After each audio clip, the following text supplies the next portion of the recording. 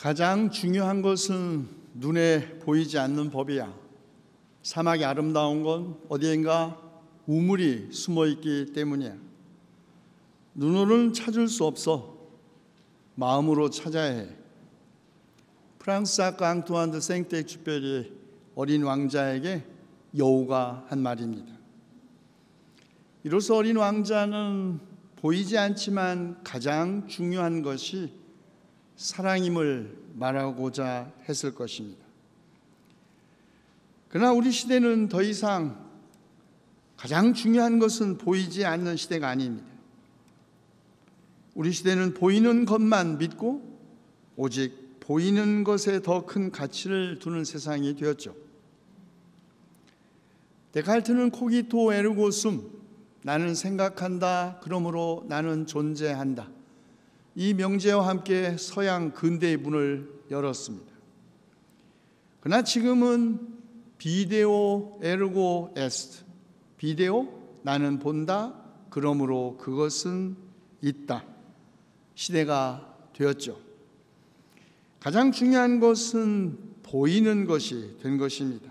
보이지 않는 것, 있는 것이 아니고, 그러므로 가치도 없는 세상이 되었습니다.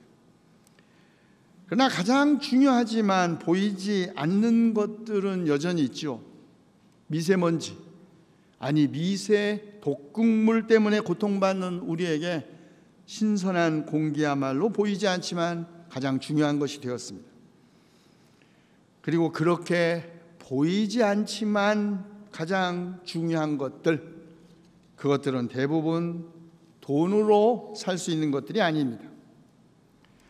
하버드 대학의 정치 철학자 마이클 샌들 정의란 무엇인가를 우리에게 널리 알려진 그가 또 다른 책 돈으로 살 수 없는 것들 썼습니다. 그 책에서 그는 돈으로 살 수 있는 것들이 무엇인지를 우리에게 제시합니다. 50만 달러만 있으면 미국으로 이민을 갈 수 있다. 6,250달러를 지불하면 인도 여성을 대리모로 아기를 낳게 할 수 있다. 미국에서는 죄수들이 하루에 82달러만 더 내면 교도소 내 감방을 업그레이드 할 수 있다. 그나마 가격이 매겨져 있는 것은 낫다. 명문대 입학 허가는 내는 사람과 받는 사람만 안다.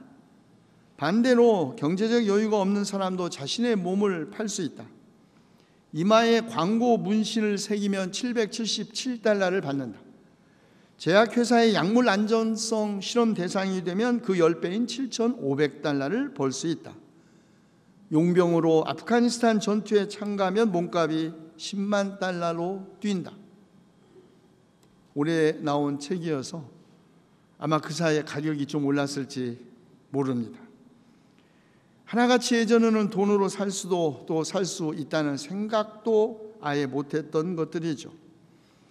그런데 마이클 샌들은 이런 시장 가치가 교육, 환경, 가족, 가치, 건강, 정치 등 우리의 모든 삶의 영역 속으로 확대되어 돈만 있으면 거의 모든 것을 살 수 있는 시대가 되었다고 합니다. 모든 것을 사고 파는 사회, 곧 우리 사회가 시장 경제에서 시장 사회로 옮겨갔다는 것입니다. 시장 경제에서 시장은 재화를 생산하고 부를 창출하는 효과적인 도구를 도구로 기능하지만 시장 사회에서는 시장 가치가 모든 인간 활동의 모든 영역에서 일종의 생활 방식 아니 인간의 모든 의식을 지배한다는 것을 의미합니다. 그러므로 중요한 것은 시장의 제도적 개선 이전에 시장에 대한 우리의 생각이 근본적으로 바뀌는 것인데 그것은 시장이 도덕적 가치와 공동체적 가치를 훼손하고 변질시키지 않는 방향으로 형성되어야 한다. 이것이 마이클 샌들이 오늘 시장 사회가 된 우리 세대의 모든 사회적 문제를 해결하기 위한 한 방안으로 제시한 것입니다. 그러나 유감스럽게도 오늘 우리가 살고 있는 시장 사회 현실은 갈수록 도덕적 가치와 공동체적 가치로부터 더욱 멀어지고 있습니다. 지금부터 2500년 전 느헤미야 시대도 마찬가지였습니다. 우리가 아는 대로 주전 539년 페르시아의 고레스가 바벨로니아 바벨론을 함락시킨 후 그 이듬해인 주전 538년 이스라엘 백성을 바벨론 포로에서부터 해방하여 고향으로 돌아가게 했습니다. 70년 동안 바벨론 포로 생활을 했던 이스라엘 백성 귀향 기쁨에 넘쳐 그들은 고레스를 하나님의 메시아라고 칭송했죠. 그러나 고레스가 이스라엘 백성을 옛 유대 땅으로 되돌려 보낸 것 그리고 그의 후계자들이 세 차례에 걸쳐 진행된 귀환 조치 그리고 예루살렘 성전 보수와 성벽 제거는 페르시아의 제국의 왕들이 특별히 더욱 관대했거나 이스라엘 백성에게 우호적이었기 때문이 아니었습니다. 그것은 매우 철저하게 계산된 제국의 경제적, 정치적, 군사적 목적의 결과였습니다. 페르시아는 매우 가혹한 공납 제도로 이스라엘 백성의 목을 졸랐고 성전 보수는 종교적 관용이라기보다는 페르시아 제국의 왕과 왕자들을 위하여 기도하기 위한 의도로 허용되었습니다. 에스라 6장 10절. 그리고 성곽 공사. 바빌로니아 이집트에서 끊임없이 발생하는 반란으로 제국의 안보에 위협을 느꼈던 중앙 정부의 자구책이자 유다를 디딤돌 삼아 이집트를 정복하기 위한 전초 기지로 활용하기 위한 것이었습니다. 특별히 유다 고지대들과 같이 페르시아 제국의 경제적 발판이 되었던 지역에서는 조공과 과세 부담이 심했고 농민들은 과중한 세금과 조공을 내기 위하여 전답을 고리대금업자에게 맡기고 담보로 아주 높은 이자의 고리를 지급하지 않으면 안 되었습니다. 빚을 갚지 못하고 이자를 갚게 해서 또 빚을 얻어야 하는 이 악순환 속에서 토지를 빼앗기는 건 물론 그들의 자녀들도 다 노예로 팔 수밖에 없었습니다. 결국 고리대금업자들과 대토지 소유주들의 배는 불러갔고 땅은 오직 하나님의 것 사고 팔 수 없는 것이라고 믿어왔던 전통적인 농업 경제관과 지파 동맹의 공동체 의식은 파괴되어 가고 있었던 것이죠. 에스라와 니에미야 바로 이런 시기에 유다로 귀향 무너진 성전을 수축하고 예루살렘 성벽을 재건하면서 유대 민족의 정체성을 회복했던 인물들입니다. 에스라는 제사장이자 학자였지만 니에미아는 페르시아 궁정의 왕궁에서 왕의 수를 관리하던 평신도 정치가였습니다. 니에미아는 성전 보수를 완성한 후 반세기가 되었을 때 엄격한 율법의 적용과 개혁을 통하여 유다 공동체를 새롭게 형성하려고 했습니다. 니아미는 하나님의 백성이 외국 세력에 의하여 멸망한 것은 하나님께 신실하지 못했기 때문이고 하나님은 외부의 세력들을 도구 삼아서라도 자기 백성을 구원하시고 약속에 신실하신 공의의 하나님이시라는 믿음을 증거했습니다. 에스라와 니에미아는 유다 공동체가 위기에 닥칠 때마다 예배와 말씀, 특별히 율법에 대한 순종을 통해 개혁을 시도했고 유다 민족은 회개하고 새로운 계약 공동체로 거듭날 수 있었습니다. 율법 70년 동안의 바벨론 포로 기간 동안에 바벨론으로 끌려갔던 유대 지식인들 특히 젊은 레위 계통 사제들의 작업이었습니다. 70년 동안 논 것이 아니죠. 얼마 전 말모이라는 영화를 봤습니다. 일제말 조선어학회 사건이죠. 우리말 사전을 만들려고 숨어 노력했던 국어 선생님들의 헌신적인 노력을 배경으로 만든 영화였어요. 그런데 그 일을 도모하는 사람은 그 당시에 큰 학교를 유지하는 상당한 부유한 어, 이사장의 아들, 그 아버지 친일파의 그늘에 숨어서 이제 사전을 만든 것이죠. 그런데 일경의 감시가 심해지고 이제 하나둘 잡혀가고 고문을 당하고 사전 작업이 방해를 받게 되었을 때 아들이 아버지 아버지가 불러요. 너 때문에 학교도 문 닫게 되고 우리 가문이 다 망하게 됐으니 그 일을 하지 마라. 그러니까 아들이 그렇게 말해요. 아버님, 옛날에는 독립운동 해야 한다고 그러고 그렇게 강력하게 나라의 독립을 위해서 헌신적으로 일하셨던 아버님이 어떻게 이렇게 변하실 수 있습니까? 묻자 아버지의 대답 전형적인 대답 친일파 지식인들의 가장 전형적인 대답들이었죠. 뭡니까? 누가 이렇게 오래 갈 줄 알았겠냐? 40년. 그래 10년 갈 줄 알았으면 독립투사가 되었을까요? 재산을 뺏기고 고문당하고 목숨을 엿받는다면 어쩌면 식민지 집에 단 열을 간다 해도 변절할 사람은 변절하기 마련 아니겠습니까?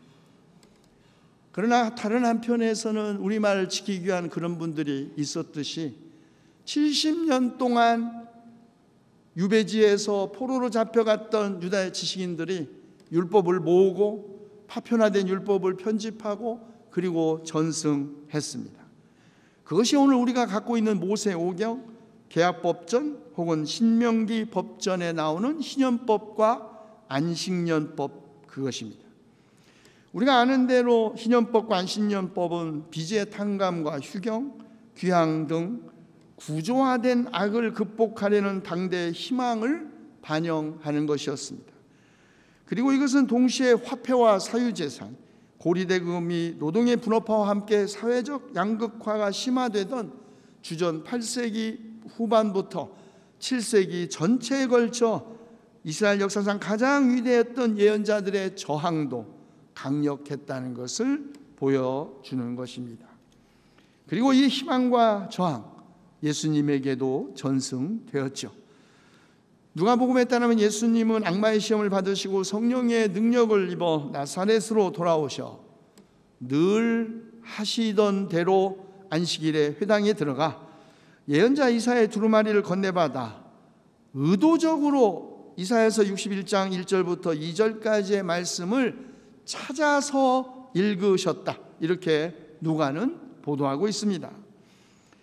안식일을 회당에서 거룩하게 지키고 말씀을 낭독하는 일은 예수님이 늘 하시던 일이라는 일이죠. 그냥 가끔 오고 싶을 때 오고 마음 내킬 때 예배하는 으로써 신앙이 성장하지 않습니다. 신앙은 마치 관습과 습관처럼 늘 하던 일이 되어야 하는 것이죠. 그때 예수님은 말씀을 찾아 읽으셨다라는 보도에 의해 우리는 예수님께서 매우 의도적으로 선택한 말씀에 빗대어 자신의 공생의 시작과 자신의 삶의 목적을 공개적으로 알리셨던 것입니다. 그리고 말씀하셨죠. 이 성경 말씀 너희가 듣는 가운데서 오늘 이루어졌다. 예수님이 계시는 곳에 가난한 사람에게 기쁜 소식이 전해지고 빚진 사람들에게 빚의 탕감이 포로된 사람들에게 해방이 눈먼 사람들에게 눈뜸이 억눌린 사람들에게 해방이 선포되고 주님의 은혜의 해가 선포된다는 것입니다. 주님의 은혜의 해 희년 이사야 61장에서 인용한 것이지만 본래의 희년법과 안식년법은 레위기 25장 이른바 성결법 안에 들어있는 규정입니다. 안식일년을 일곱 번 지내노 50년이 되는 해 뿔나파를 불면서 거룩한 해 기쁨의 해로 정하고 전국의 모든 거민들에게 자유를 선포하고 그동안 유산으로 분배받았 없었던 땅, 사고 팔 수 없었던 땅, 그러나 조공과 세무금을 바쳐야 해서 고리대금업자에게 빼앗겼던 땅, 본래의 원 소유주에게 되돌려 주고 일거리를 찾아 고향을 떠나 농노의 신분으로 전락했던 모든 노예들은 집으로 돌아갈 수 있었습니다. 부당한 이익을 남겨서도 안 되었고 나그네와 임시 거주자들도 함께 살 수 있어야 했습니다. 그런데 주목할 것은 예수님께서 이사야서 61장 1절 2절의 말씀을 찾아 펴 읽으시면서 61장 2절의 마지막 한 절을 의도적으로 빼셨다는 겁니다. 그 마지막 한 절은 주님의 은혜의 해와 하나님의 보복의 날을 선포하고 그랬습니다. 하나님의 보복의 날을 빼신 것입니다. 누가는 이로써 예수님과 함께 시작되는 기쁨의 해 희년은 보복과 그리고 그 대응 보복으로 이어지는 악순환으로는 결코 새로운 사회, 새로운 공동체, 정의가 실현되지 않는다는 것을 말한 것입니다. 그런데 비제 탕감과 휴경 전통은 이스라엘만이 아니라 고대 근동 국가들에게도 있었던 전통들입니다. 그러나 이스라엘에 다른 점이 있습니다. 고대 국가들에서 휴경은 더 많은 소출을 얻기 위한 농업적 목적에서 시행되었고 빚의 탕감 혹은 사면은 특정한 왕의 즉위와 관계된 특별한 정치적 사건이었습니다. 그러나 이스라엘의 안식년과 희년 제도는 이런 농업 경제적인 혹은 소출을 높이려는 실용적이고 정치적인 목적에서가 아니라 야훼 하나님의 법이기 때문에 하나님께서 그렇게 말씀하셨기 때문에 지켜야 한다는 신앙의 결과였습니다. 여러분 고대 근동 사회 농업 생산량이 그렇게 많은 사회였겠습니까? 단 하루라도 일을 더해도 먹고 살기가 빠듯한 농경 사회에서 일주일에 하루는 무조건 쉬어야 한다. 그 시험 오늘 우리도 당하고 있지 않습니까? 가게를 주일날에도 열어야 겨우 먹고 사는 사람에게 주의를 거룩하게 지켜야 한다고 가게 문을 닫아야 한다고 하는 것이 강요될 수 있는 혹은 요구될 수 있는 요청이겠습니까? 그런데 왜 그들은 그럴 수 있었을까요? 하루를 쉬어도 엿새만 일해도 충분히 먹고 살 수 있는 소출이 있었기 때문일까요? 아닙니다. 그들은 단 하루라도 일하지 않으면 먹고 살 수 없었음에도 불구하고 하나님이 쉬셨으니 너희도 쉬라는 말씀에 대한 순종 때문에 그 일을 한 것입니다. 그런데 흥미로운 건 내육의 신현법이 그 내용은 대단히 혁명적임에도 불구하고 그 실현 방식이 대단히 비혁명적이라는 것입니다. 희년이 속죄의 날에 선언된 것과 부자와 권력자들의 자발적인 욕망의 절제가 희연 성취로 성취에 전제되어 있다는 것이 그것을 보여줍니다. 부자와 권력자들의 기득권의 포기는 속죄의 열매이고 가난한 민중의 기본권의 회복은 새로운 관계를 시작을 위한 씨앗이라는 말이죠. 그러므로 신현법이 말하는 개혁과 변화의 목적은 적의 말살, 보복에 대한 대응 보복이 아니라 전적으로 새로운 관계의 시작, 곧 공생에 있습니다. 그런 의미에서 희년법은 오늘 우리가 보기에는 충분히 혁명적이지도 그렇다고 수구적이지도 않습니다. 보수냐 진보냐 혁명이냐 수구냐 변혁이냐 안정이냐 환경이냐 발전이냐라는 그런 이분법적인 양자택일은 더 이상 오늘 우리의 현실을 정확하게 이해하는 데도 도움이 되지도 않지만 현실적인 대안도 되지 못합니다. 비록 희년법이 이스라엘의 역사상 아주 짧은 기간 동안 다시 말해 에스라 니에미아 시대 이후 알렉산더 대왕에 의해서 더욱 폭력적인 헬레니즘 문화가 그후대 아시아를 정복하기 이전까지 실현되었지만 희년법은 양극화된 이스라엘 사회의 공동체성을 회복하려는 꿈을 가졌던 모든 이스라엘 사람들의 이념이 되었습니다. 이사야를 거쳐 예수 그리스도에게서 선포된 희년 세계사적이고 종말론적인 성격을 가집니다. 희년은 미래의 사건이 아니라 지금 여기에서 예수 그리스도와 함께 실현될 사건으로 경험, 경험되었습니다. 예수 그리스도는 하나님 나라 선포와 악령 축출과 병자들의 치유를 통하여 그리고 십자가의 죽음과 부활을 통하여 희년을 이미 현재화한 것입니다.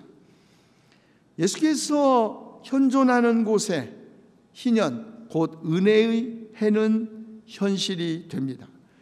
그러므로 교회 공동체는 희년 선포의 주체이면서 동시에 희년 실천의 주체여야 합니다. 스스로 그런 희년 정신을 실천하지 않는 교회가 어떻게 세상을 향하여 희년을 선포할 수 있겠습니까? 그래서 사도 바울 사람의 몸을 빗대어 공동체를 말하고 있는 것입니다. 지체는 여럿이지만 몸은 하나입니다. 그러므로 소, 눈이 손에게 말하기를 너는 내게 쓸데가 없다 할 수 없고 머리가 발에게 말하기를 너는 내게 쓸데가 없다 할 수 없습니다. 여러분 보아도 손이 없으면 잡을 수 없고 손이 있어도 볼 수가 없으면 찾을 수 없으니 지극히 당연한 말이죠. 그런데 몸을 오직 쓸모의 시각에서 보는 것도 문제지만 몸은 결코 상호적이지 단독적 일 수 없다는 말입니다. 거기에 덧붙여 사도 바울. 그뿐만 아니라 몸의 지체 가운데서 비교적 더 약하게 보이는 지체들이 오히려 더 요긴합니다. 그렇죠. 세상에 요긴하지 않은 몸이 지체가 어디에 있겠습니까? 그런데 바울은 약해도 쓸모없이 보이는 지체가 오히려 더 요긴 하다고 말한 것입니다. 불평등 극복하는 길은 약한 사람에게 더 관심을 가질 때 가능하다는 말 아니겠습니까? 한 지체가 고통을 당하면 모든 지체가 함께 고통을 당합니다. 그래서 하나님께서 몸에 분열이 생기지 않게 하시고 지체들이 같이 걱정하게 하셨다고 합니다. 하나님은 어떻게 분열을 극복하시고 몸을 골고루 짜 맞추셔서 조화를 이루게 하셨을까요? 사도 바울에 따르면 모자라는 지체에게 더 풍성한 명예를 주심으로써 그렇게 하셨다고 합니다. 우리가 덜 명예스러운 것으로 여기는 지체들에게 더욱 풍성한 명예를 덧입히고 볼품 없는 지체들을 더더욱 아름답게 꾸며 줌으로써 그렇게 하셨던 것입니다. 더 더욱 더욱 더 바울의 메시지의 핵심은 여기에 있습니다. 그러면서 덧붙인 말 아름다운 지체들은 그럴 필요가 없기 때문입니다. 충분히 가진 사람, 부족함이 없는 사람, 그는 그 자체로 이미 충분합니다. 그러나 없는 사람에게는 더, 더 큰 명예를 주는 것이 진정한 평등이라는 것입니다. 이쪽에 있는 거 뺏어서 이쪽에 줘서 균형을 잡는 것이 평등과 정의가 아니라는 뜻이죠. 오늘 우리 사회 심각한 문제 양극화이죠. 특별히 소득 격차에 따른 빈부 양극화가 그것입니다. 그런데 사도 바울의 이 몸과 지체에 대한 비유는 단지 교회 안에서의 양극화만이 아니라 사회적 양극화의 극복에도 흥미로운 상상력을 줍니다. 계층 간 균형과 조화는 약한 자들에게 더 풍성한 명예를 주심으로써 다시 말해 사회적 약자에 대한 더 풍성한 배려와 법적 제도적 장치를 포함한 사회적 관심과 존중에 의해서 가능하다는 것입니다. 그러면 왜 부자와 힘 있는 자들이 가난한 사람들과 사회적 약자들을 배려해야 할까요? 레위기 성결 법전은 그것이 하나님께서 정하신 법이기 때문이라고 합니다. 무슨 특별한 사회 정의에 대한 관심이나 평등에 대한 관심에서 혹은 사회적 대타협에 대한 관심에서가 아니라 하나님께서 그렇게 하라고 하셨기 때문이라는 것입니다. 예언자들은 그렇지 않으면 하나님의 백성이 심판을 받고 외부의 적에 의해 공멸하기 때문이라고 합니다. 예수님은 이웃을 자기 몸같이 사랑하는 것이 하나님과 하나님 사랑과 같기 때문이라고 하셨죠. 사도 바울. 그는 한 지체가 고통을 당하면 모든 지체가 함께 고통을 당하고 한 지체가 영광을 받으면 모든 지체가 함께 기뻐하기 때문이라고 했습니다. 우리 시대의 양극화, 그것이 경제적이건 정치적이건 이념적이건 계층적이건 성적이건 세대적이건 어떤 형태의 양극화는 성경이 제시하는 양극화 극복 방안은 그 내용은 충분히 혁명적인데 그 방법은 그렇지 않습니다. 양극화의 극복은 절제와 양보, 배려와 나눔이라는 비폭력적이고도 자발적인 자기 변화에서 시작한다. 그것이 희년법 정신입니다. 이런 희년법, 이런 성경의 정치 경제학은 현실주의자에게는 물론이고 급진주의자들에게는 더더욱 만족스러운 대답이 아닙니다. 희년의 정치 경제학은 현실주의자들에게는 지나치게 비현실적이고 급진적 개혁가들에게는 충분히 급진적이지 않기 때문입니다. 그러나 성경의 정치 경제학 돈으로 살 수 없는 가치 아니 돈 없이도 살 수 있는 가치. 이사야 55장 1절에 3절 돈 없는 이들도 내게 오라. 말씀하신 그 하나님의 구원 언약에 대한 믿음. 그런 가치를 가장 중요하게 봅니다. 그것은 보이지 않는 것들의 증거인 하나님의 구원 언약에 대한 믿음이죠. 하나님의 구원 언약에 대한 믿음 없이 우리는 가장 중요한 것은 보이지 않는다는 어린 왕자의 말을 이해할 수 없을 것입니다. 이 믿음 없이 우리는 돈으로 살 수 없는 것들이 돈으로 살 수 있는 것들보다 더 가치 있다고 여길 수 없습니다. 이 믿음 없이 우리는 약하게 보이는 지체들이 오히려 더 요긴하다는 것을 알 수 없고 이해할 수 없고 이 믿음 없이 우리는 한 지체가 고통을 당해도 함께 고통을 느끼지 못하고 한 지체가 영광을 받아도 함께 기뻐하지 못할 것입니다. 기도합시다.